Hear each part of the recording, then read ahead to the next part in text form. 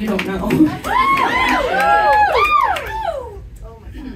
um, so this next song is a song you know. If well, I don't know. this next song is a song you know if you know it. Yeah, you know if you know it. Listen to our music. Our music? Yeah.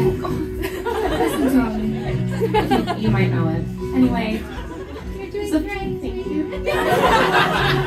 this is the first song that the three of us ever produced on our own. And it's a song that we're very proud of and it's very special to us.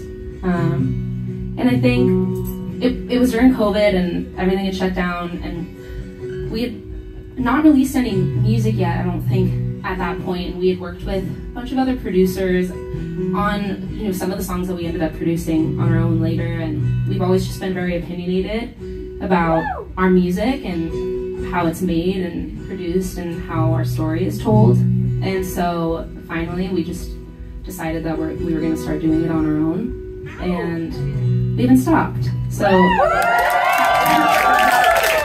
think um, if there's something that you're passionate about and there's a story that you want to tell, don't wait for someone to tell you that you're good enough to do it. Just do it because it's honest to you and it's unique to you. That's the most important thing. And people will love it and people will want to hear it and see it. Um, yeah, the song is called Wouldn't Come Back.